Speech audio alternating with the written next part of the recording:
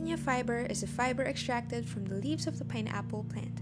Although these leaves are often thrown away and considered as organic waste, researchers from the Philippine Textile Research Institute believe this material show great qualities for textile production. Piña fiber um, is finer so uh, compared to other natural fibers like abaca and banana.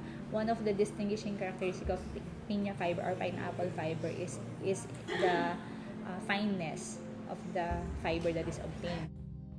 The research on piña fibers, specifically the ones that is utilized for spinning of yarn, started in PTRI for decades already. Sometime in 1995, we started um, investigating different natural fibers as a substitute or as a complement to cotton to produce yarns. As of today, there are still pineapple farmers who don't know of the extra income they could make by selling these leaves. Wala pa ang nakapag-ano sa akin kasi. Wala pa. There are two ways of extracting piña fiber. The traditional fiber extraction process. They soak the leaves for 10 to 14 days to soften it and then start hand scraping it using a soft plate. They gather these fibers and leave them under the sun to dry. They then start knotting each to form a continuous line or thread of piña fiber.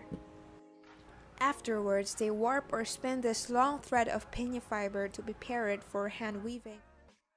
The industrial extraction process. The leaves go straight into the decorticating machine, a fiber extraction machine which consists of a motor and many blades. Once dried under the sun, these fibers go into the mechanical fiber softening machine and then later into a water or chemical bath to soften and clean the fibers.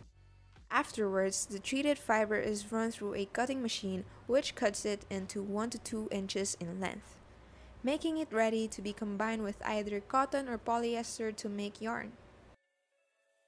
Piña fabric is often embroidered by hand, which is what the people at the Lumban Embroidery Association Multipurpose Cooperative in Laguna do.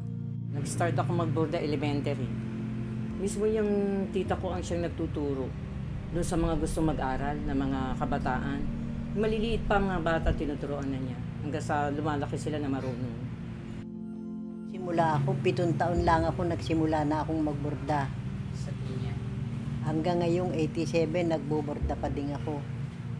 According to Ms. Rosita, their customers aren't only in the Philippines but in other countries as well.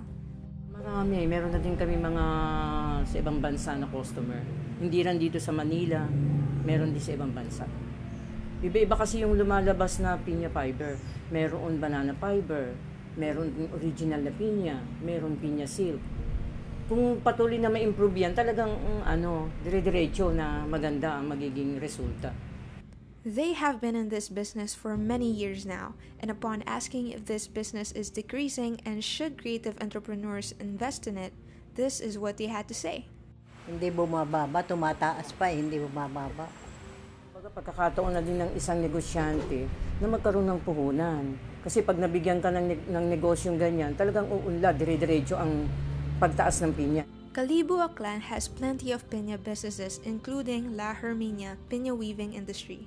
The La Herminia kasi established 1996. But yung pinya weaving industry is nag-start siya before the Spaniards pa.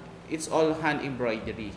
Kasi pag machine, madaling masira yung tela. For Sir Pat, they are currently experiencing problems in the piña industry. Ang problema lang ngayon is because of uh, ang daming demand, kulang ang supply. Nawawalan tayo ng weavers, nawawalan tayo ng knatters. Dahil nga, yung mga tao, ayaw na nila magtrabaho. Piña fiber is a sustainable and versatile material, and when asked if this material has room for innovation, this is what they said. Definitely. Um, I'm not sure if you are familiar about Piñatex or the vegetable leather. So that is one innovation that is capitalized on utilizing pineapple waste pineapple leaf fibers and then converted it into a leather-like material.